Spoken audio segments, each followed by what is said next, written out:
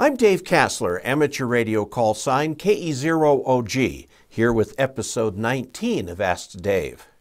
Five years ago, I wrote a blog post on my primary website, dcasler.com, about how much it costs to become a ham.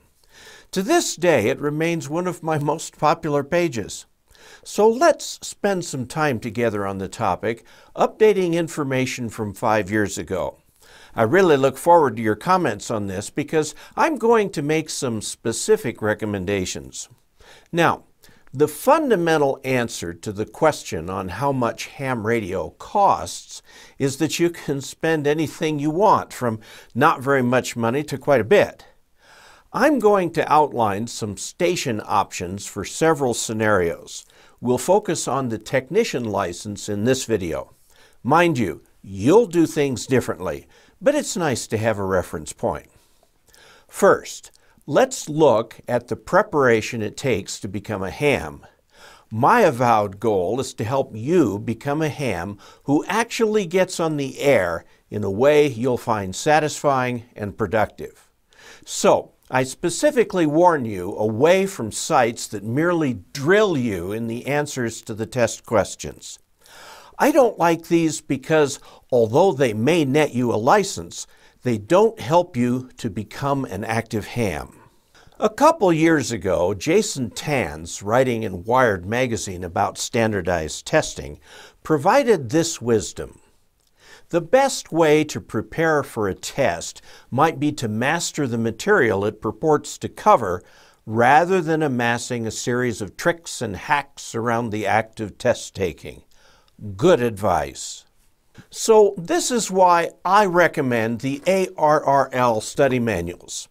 They approach the material in a systematic manner with lots of additional information you can refer back to after you get your license. That is why I shaped my training videos to follow the outline of these books. My training videos provide even more background that's relevant to, but independent of the individual test questions. So, here's my first recommendation the ARRL License Manual for Ham Radio. You can get it on Amazon for less money than on the ARRL website, plus, shipping on Amazon is less expensive too. Be sure to get the current version. For use prior to June 30th, 2018, you'll be looking for the third edition. Let's see. Let's buy the spiral bound version because it lies flat. That's $30 plus $5 shipping and another buck for tax. That's $36. Now, I'm going to make an important suggestion here. There's simply no better source of quality information about ham radio than QST, the magazine of the American Radio Relay League. That's right, I'm advocating joining the league even before you get your license. You'll be amazed at how much knowledge you'll pick up just by browsing the articles. The magazine always has material for all levels of expertise, including beginners. And the magazine has lots of ads that can help answer your questions about what radio to get after, and I underline after you get your license. The membership for those in the USA is $49 a year. I know that may seem steep for a mere magazine, but QST is no mere magazine and the ARRL is no ordinary organization. Let's round that to $50 to count the postage and the cost of the envelope and add it to our tally, which gets us to $86. Here's something that may help you most of all. Join a local amateur radio club. The level of collective expertise is often high. Now, you may need to do a little club shopping to find the right one for you, but don't wait until you have your license to get integrated into the club. Our local club, the Montrose Amateur Radio Club, has annual dues of $20. Let's add $30 to our list to get started. So we're now at $116. The next step, of course, is the exam itself. You'll need to pay the fee to the volunteer examiners.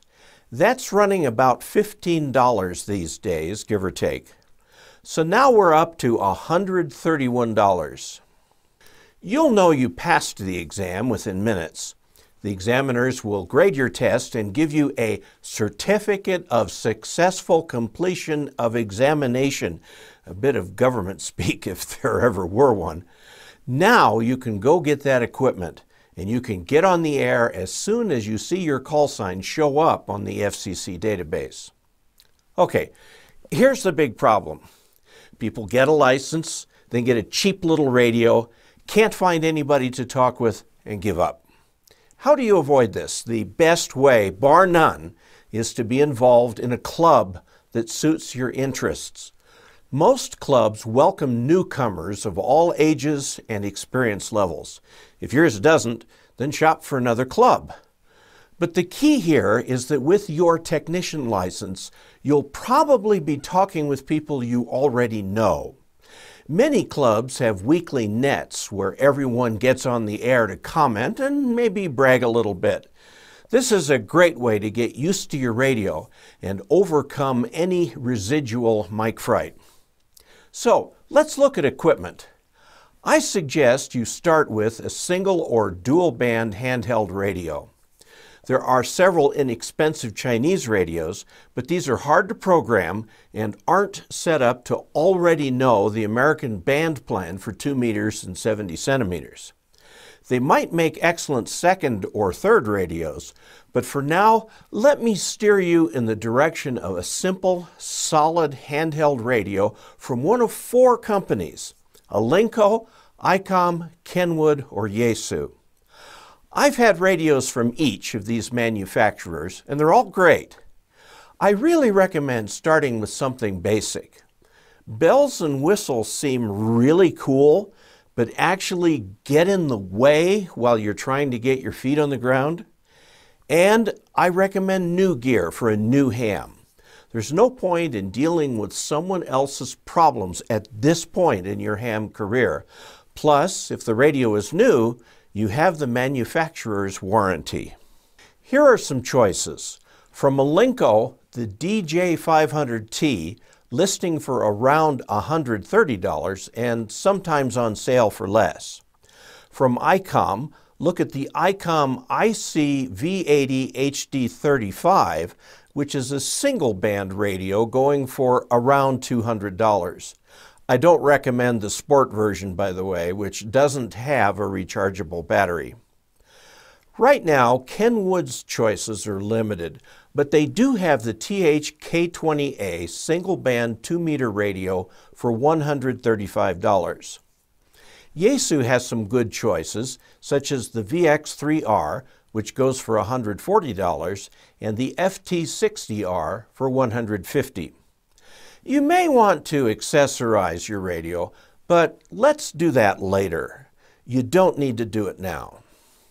So let's pick the FT60R for 150 and add $20 for shipping and tax and mark up $170 on our chart, bringing us to $301. One of the first things you're going to want to do is extend the range. The easiest way is in the car with a magnet mount dual band antenna such as the MFJ 1724B for $25 plus shipping. Let's say $35 total. The antenna comes with a cable, but there's an issue. The antenna is actually designed for a mobile rig, so it has a PL259 cable connector, which your handheld won't have. So you'll need to add the appropriate adapter for maybe $10. So we'll add the $35 and $10 to our chart, getting up to $346. How about an antenna to put up outside your home? Here's a simple one, the MFJ 1740 for $30, say 45 with shipping and taxes. But now we need some accessories. You'll need some sort of a mast. You can get an inexpensive aluminum pole you can simply connect this to your antenna and then slip that pole down a vent pipe and it will stay in place on your roof just fine. Home Depot has an $11 pole that you'll probably want to pick up at your local store. Just about anything will do here as long as it's more than a couple feet long. Now, you'll want to run some wire from the grounded part of the antenna and the mast to an actual ground. So let's just go ahead and invest in a ground rod. You can get one for less than $15 at Home Depot. There's a special clamp you need for another few bucks. Back to the wire. You can use something simple here as all it will do is bleed off static charges so they don't blow out the front end of your radio. Let's set aside $40 for this because copper is somewhat expensive right now. Okay, so we're up to $462. Oh, but wait, the coax. I'm going to specify a pre-made coax assembly here because fewer and fewer people are soldering their own connectors. And be liberal with the length. You'll need probably double what you may think at first. So let's pick a 75 foot RG8X cable from ABR Industries for about $50 from Ham Radio Outlet. Yes, I know this is a bit lossy at VHF and UHF, but the fact that you're dealing with an outside antenna will more than make up for it. Oh, and you can use the same coax adapter you used in the car. Let's look at our chart, which is now at $512. At this point, you can operate with a nice handheld radio with its own antenna, or in your car, or from your home. Okay, let's take the next big logical step, a VHF UHF mobile radio. These can be used both at home and in the car. Again, I recommend relatively simple radios. And there are lots of options. But I'll specify a radio here for the sake of an example. The Yaesu FT7900 is a great, simple, dual-band rig that packs a good solid 50 watts on 2 meters and 40 watts on 70 centimeters. Believe me, that's way more than enough power on those two bands. This radio sells for about $280. Let's add $20 for shipping and taxes. Some hams stop here. A handheld plus a mobile rig in the car. We're at $812. But there is another logical step. You can use that same model mobile rig or one similar to it in your home station. Now, you'll need a 13.8 volt power supply. MFJ has a number of options, and for, oh, let's put aside $120, you can have a nice one that will also serve well for your HF station after you get your general license. So, what are we up to now? In the neighborhood of $1,200. Many techs stop right here, with a mobile rig in the car and in the home. This station setup lets you participate fully in what's happening in your community. You can hit repeaters from both your car and home. You can participate in emergency communications. So let's stop here and call this a baseline for the fully equipped tech.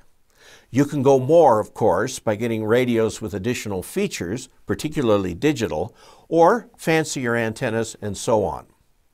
I do not recommend VHF UHF amplifiers because if you can't work them with 50 watts to an external antenna, you probably won't work them with 500 watts either. That's just how FM and line of sight work.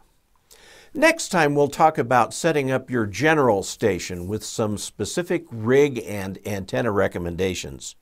In the meantime, get on the air get to know people, and get involved in the amateur radio community. As always, for an Ask Dave episode, we end with a photo of a local attraction here in southwestern Colorado.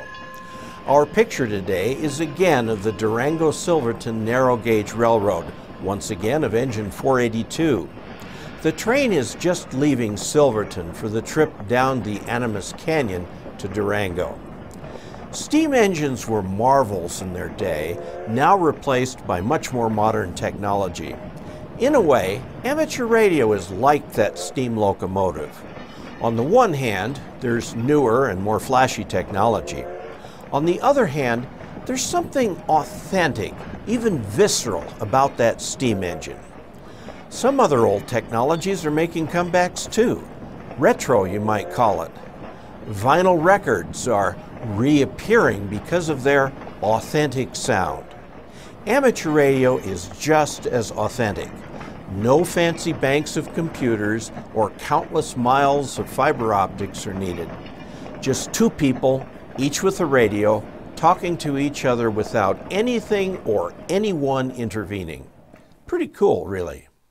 I hope this enumeration of costs helps you better understand amateur radio. Ham radio is certainly not the most expensive hobby out there, although there are lots of opportunities for upgrades and expansions. But a few hundred dollars gets a technician on the air reliably. It's not the equipment that matters, it's the people you meet, both on the air and in person. I appreciate your feedback and questions. Please subscribe to this channel to get notification of future videos. You can submit a question by commenting on this video or by visiting dcasler.com slash ask-dave. Keep those questions coming. Until we next meet, 73.